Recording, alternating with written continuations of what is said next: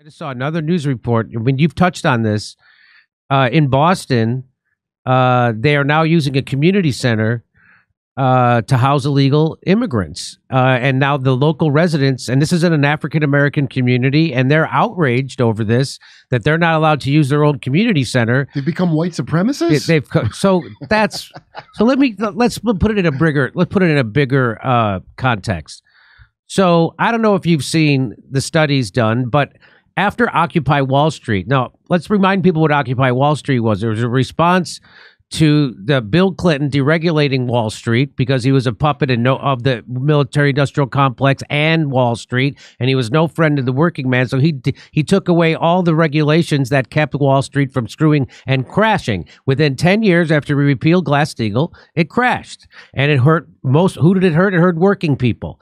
And so people from the left, right, and center came together at Occupy Wall Street to uh, protest the way they handled that, right? Which way they handled that was Barack Obama bailed out the banks and he made sure they didn't miss their bonuses, the bankers, and he kicked 5.1 million families out of their houses. So when people saw the game that was being played, it was it was Democrats and Republicans coming together to serve corporations and screw regular Americans. They did Occupy Wall Street. And so the establishment then had to realize we have to figure out how to divide and conquer these people again because when they come together, that's the only thing that scares people. And that's why I'm glad you're running as an independent. The only thing that scares the establishment is when people from the left and the right come together to oppose them. But what they've been doing ever since then is trying to get us to turn on each other. And if you look at the studies, the, the uh, uh, mentions of white supremacy and racism uh, have skyrocketed in the media, the corporate owned media. There's only six companies run by billionaires. And my theory is that is there to divide us to keep us thinking that our problem is our is our neighbor instead of the problem is the oligarchy that has been doing this controlled demolition of our economy that is crushing everybody. They don't want us to realize that and come together and oppose them. So that's they're using white our fear of white supremacy and racism against us. Not that racism doesn't exist in America and isn't a problem, but they're oh, they they are uh, using it and focusing on that as a way to divide us. Do you do you share that concern? Well, look, I, I've lived in integrated neighborhoods my whole life.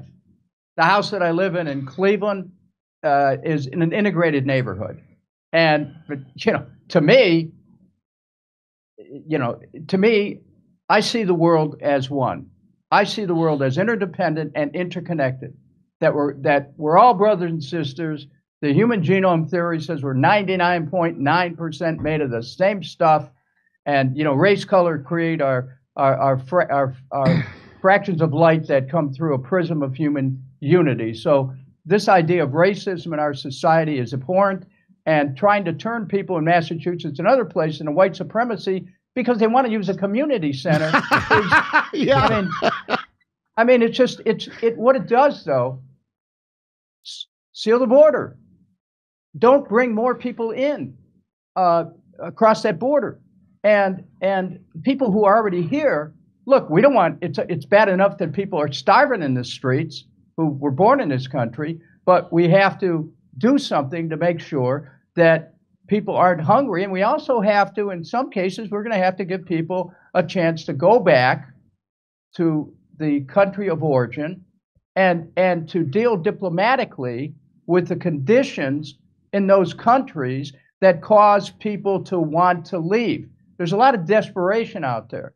And, and America, you know, we can be a beacon, but we first have to be a beacon to our to our, our own self as a nation. Right. And we can't we can't pretend that we just open the borders everywhere. And I I'm I'm uh, very concerned about the political games that are being played to pit people. You said it, Jimmy. To pit people against each other. It's by design. Now our campaign you know, this is our logo right here. It's American Eagle, and we have in, in the Congress above the canopy of the House, there's an American Eagle, and I would point to it often and tell my colleagues that American Eagle needs two wings to fly. You know, it also needs a heart and a brain. So I hope to be able to bring some of those attributes uh, back to Congress.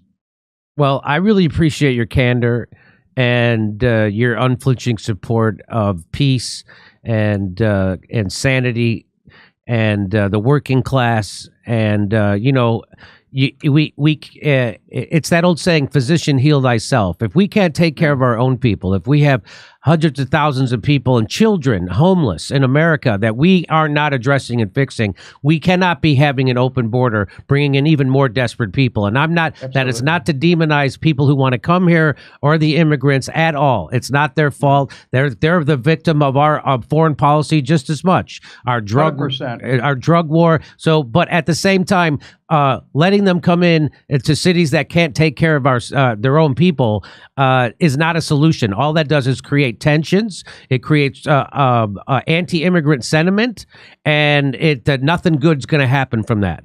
And you you're on that hundred percent. Lock down all of us, but not the border. They could lock down everybody in the country. How is that possible? For two years straight, but they couldn't well, lock down well, the border. Well, you know, you know, it raises it raises a question about you know what government isn't doing right in this country, like surveillance yeah. Now, remember, I, I voted against the Patriot Act because I read it. I don't like the surveillance society. I want to see ways in which we can give return people's freedom.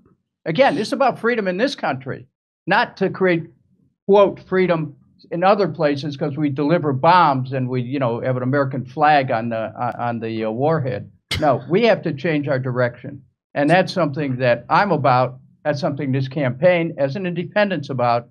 And you know, I again, Jimmy, I could very well end up being the the only independent elected to the House in 2024 in a pivotal position, which I will use to help uh, workers, to help rebuild the middle class, to help save small businesses, and to get us out of these endless wars. Hey, come see us do a live stand-up show. We'll be in Bend, Oregon, Portland, Seattle, Philadelphia.